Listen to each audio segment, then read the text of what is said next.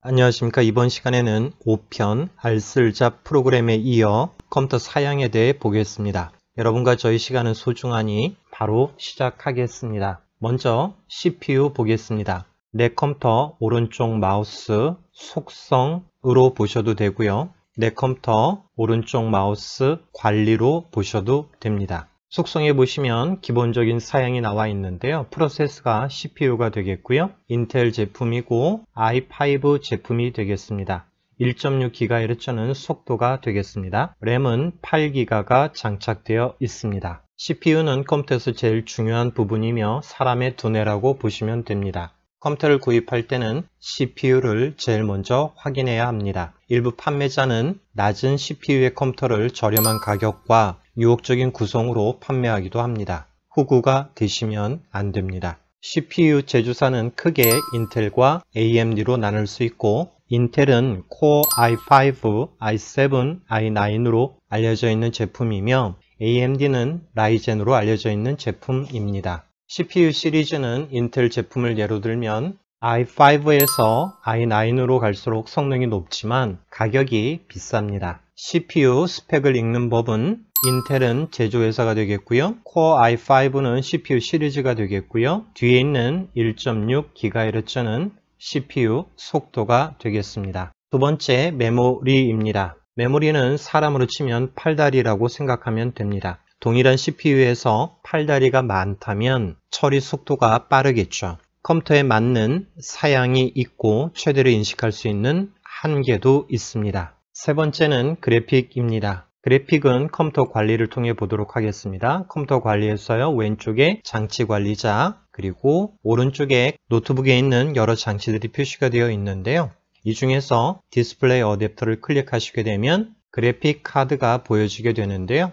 인텔의 HD 3000이 되는데 내장 그래픽이라고 보시면 될 것 같습니다. 대부분의 학교에서 사용하는 노트북은 내장 그래픽입니다. 그래픽 작업이나 게임을 하지 않는다면 내장 그래픽으로도 충분합니다. 21년 추석 보너스로 아들 컴퓨터를 구입했는데 라이젠 5 5600X의 그래픽카드로 RTX 3070을 구입했습니다. 약 260만원의 그래픽카드 가격만 약 130만원이었습니다. 그래픽 작업이나 게임용에서는 그래픽카드가 중요합니다. 조금 더 세부적인 내용을 보고 싶으시다면 CPU Z라는 프로그램을 설치하면 됩니다. 설명란에 링크 넣어 두겠습니다. CPU Z를 실행하시면 다음과 같은 화면이 나오게 되는데요. CPU를 보시면 인텔 Core i5라고 되어 있고요. 세부적인 사항도 포함되어 있습니다. 두 번째 메인보드를 클릭하시면 메인보드의 사양이 나와 있고요. 세 번째 메모리를 클릭하시면 8기가 이외에 타입이 DDR3라고 하는 것도 나와 있습니다. 그리고 다섯 번째 그래픽을 클릭하시면 인텔의 HD 3000 내장 그래픽이라는 것을 알 수가 있겠습니다.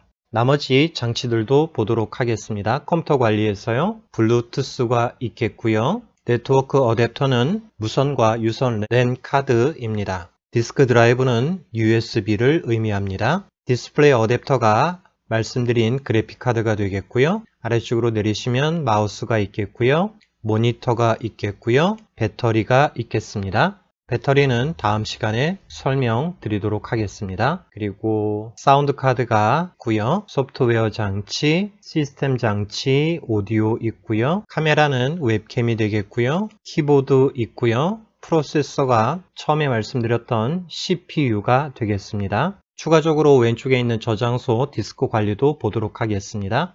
컴퓨터에 있는 하드디스크라고 보시면 되겠고요. 디스크 0, 디스크 1, 그리고 디스크 2로 되어 있는데요. 디스크 2는 USB가 되겠고요. 우리가 얘기하는 하드디스크는 디스크 0이라고 보시면 될 것 같습니다. 디스크 0을 보시면 여러 개의 작은 방으로 나누어져 있는데요. 이것을 우리는 파티션이라고 이야기해 줍니다. 교무실에도 파티션으로 선생님들의 공간을 나누듯 디스크라고 하는 공간도 작은 단위로 나눠지게 되는데 이것을 파티션이라고 합니다. 정리하겠습니다. 이번 시간에는 컴퓨터 사양에 대해 보았고 CPU가 가장 중요하다고 생각하시면 됩니다. 다음 시간에는 많은 관심과 문의가 있었던 배터리에 대해 보겠습니다. 구독은 영상 제작에 많은 힘이 됩니다. 다음 시간에 뵙도록 하겠습니다. 감사합니다.